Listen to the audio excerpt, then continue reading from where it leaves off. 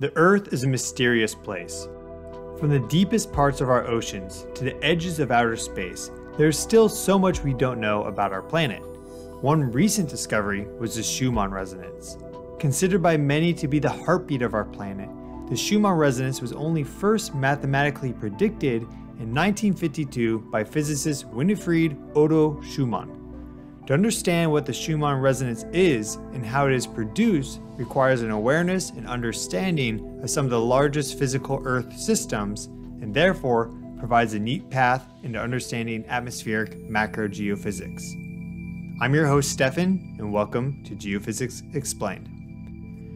The Earth is the third planet away from the center of the solar system, and at 260 trillion cubic miles in volume, it is more massive than its nearest neighbors Mercury, Venus, and Mars. Composed of silicon minerals with an iron core, and with large amounts of water present in all stages of matter, across, in, and above its hard surface, the Earth is unique among its neighbors. This is especially true when considering the rich amount of vegetation that carpets the Earth and its thick atmosphere that extends far into space, composed mostly of nitrogen and oxygen.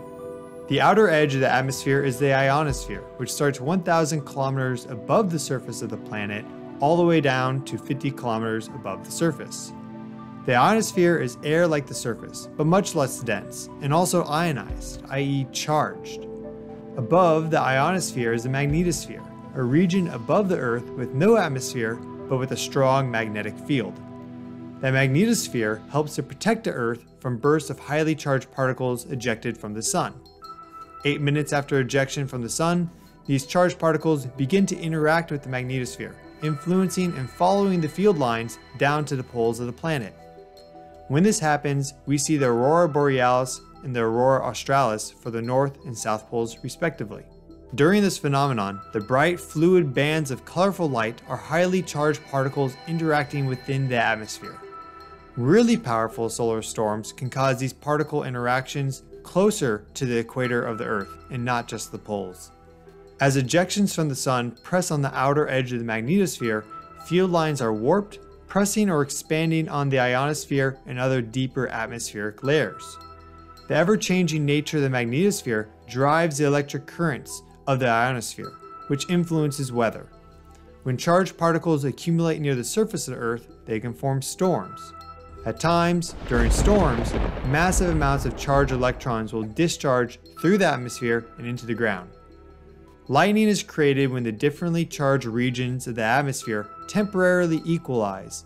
Photons radiate out from the bolt, and while many of them interact with matter soon afterwards, many of them will travel outwards towards space at the speed of light. When these photons interact with the ionosphere, they refract back to Earth or towards the ionosphere again. In this way, photons can become trapped in the 50 kilometer zone in between the Earth and its ionosphere, which acts as a waveguide. This is a Schumann resonance. With each photon traveling at 300,000 kilometers per second, its wavelength equals the circumference of the Earth.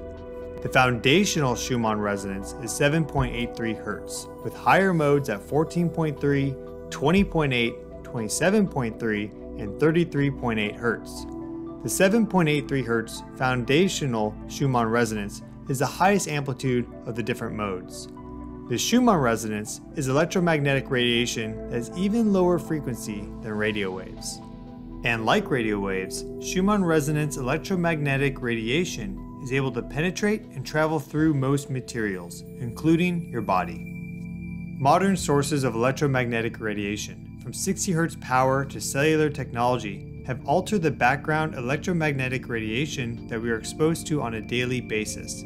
With natural electromagnetic radiation, like the Schumann resonance and its higher modes, now having a lower signal to noise ratio than existed before modern electromagnetic manipulation.